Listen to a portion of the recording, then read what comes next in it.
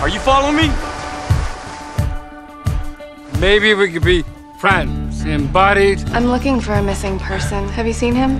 Two bandits on the run. Oh, yeah! Rule number one, don't slow me down. Rule number two, I'm in charge. Hey, what's rule number one? Party. No.